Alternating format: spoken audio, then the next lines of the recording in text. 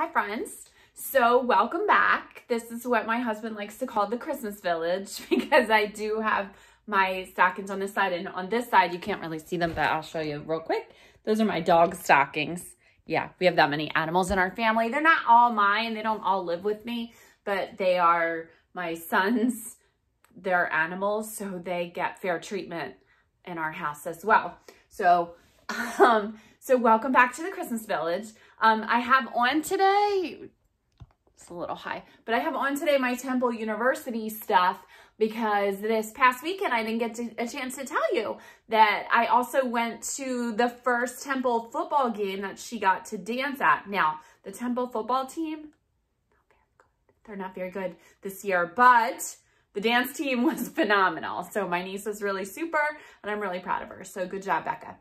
So we're going to go through the morning meeting. I also wanted to talk to you about something that I didn't get to talk to you about yesterday either. There, we, we kind of had some, some issues yesterday getting people on and people were on at different times and it was a little bit crazy. But um, over the weekend, uh, Joe Biden and Kamala Harris were pronounced the, the winners of the new election.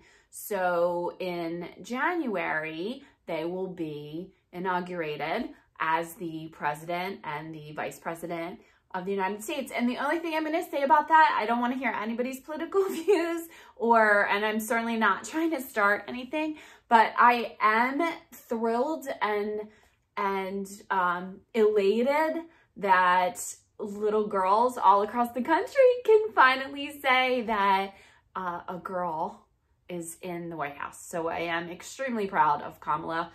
Uh, regardless of what your political views are, I mean, you have to be really impressed that everybody now knows that when I say you can be anything you want to be, you know that I am so serious, right? You can be anything you want to be. Okay, so here we go. This is a little bit, I don't know if you can even see the top. There we go. I'm just going to move it up a little bit so you can see the top. Okay, so it says, good morning, silly squirrels. So yesterday when we were talking about trees, we talked about the parts of trees and we talked about, um, we did the little song. Yeah, roots and trunk, branches and leaves, right? We did a little song. We're going to do that song again today. So of course, if you missed it, you can come on back. But then we started talking about who lives in a tree. Like, what do we, what do we need those trees for? Who lives in a tree? And my genius friend, Evelyn, said that birds. And she started making a nest for us to show us, right? So that, she is absolutely 100% correct. I'm going to move to this side real quick. Um, she's 100% correct. Birds do live in trees. All different kinds of birds live in trees. So today we're going to find out what Evelyn thinks that kind of bird is. But then other other children, Micah and Micaiah were on also when they were talking about different animals that live in trees. So I want you to be thinking about that as well. So I gave you a little big, big hint, right? Squirrels. Squirrels live in trees, correct? Especially um, trees around here. We have tons of squirrels living around here. So squirrels live in trees. Um, I also gave you these silly squirrels because that is alliteration, right? All right, so here we go. Today is Tuesday. Uh, we made it through Monday. We made it through, we're on to Tuesday. Your seesaw activities for today will look very similar to the ones yesterday. They will be opposites. Again, remember the opposite of up is down, the opposite of in is out, the opposite of left is right. So uh, be thinking about that. You want the, the, the word relationships, right? We want to figure out how those words are connected and how they are the opposite, like short, tall, or small, big. Those are opposites.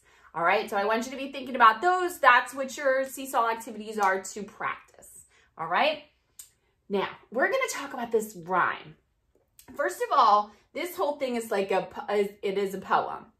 Um, I want you to notice, listen close, for the words in here that rhyme. Remember, rhyme is when the second half of the word sounds the same, like fat cat, right? This When the first letter is the same or the letter sound is the same, that's alliteration.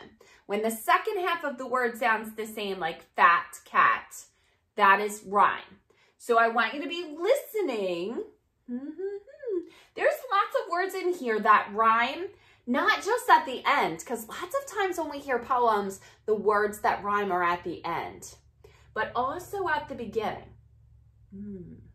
So think hard and listen hard. And when you pop on at nine o'clock, I want you to be thinking about the rhyming words that you heard.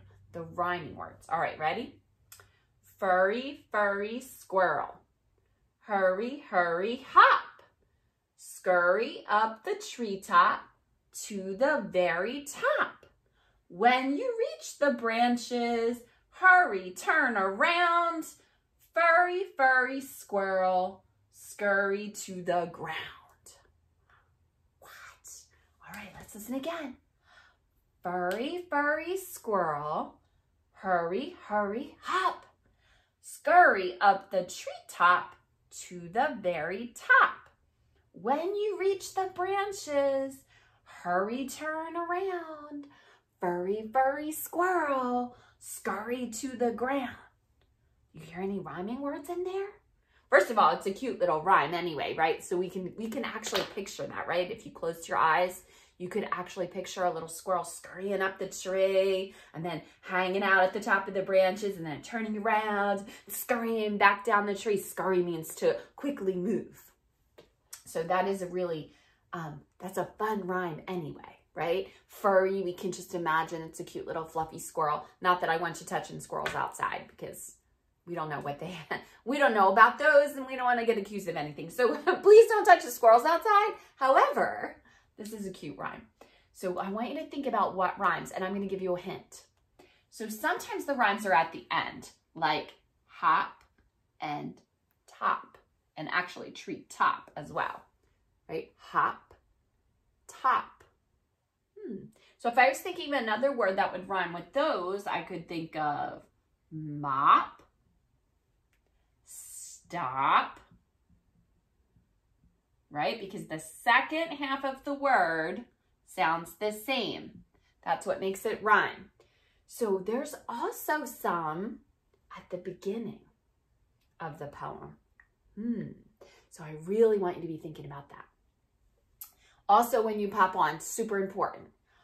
What lives in trees? So we know that Evelyn told us yesterday, birds, if you have a specific kind of bird, like a blue jay or a cardinal that you want to talk about, then then use that one as your example. It's okay that she already said birds. You can say something similar, like you could tell me about some other birds.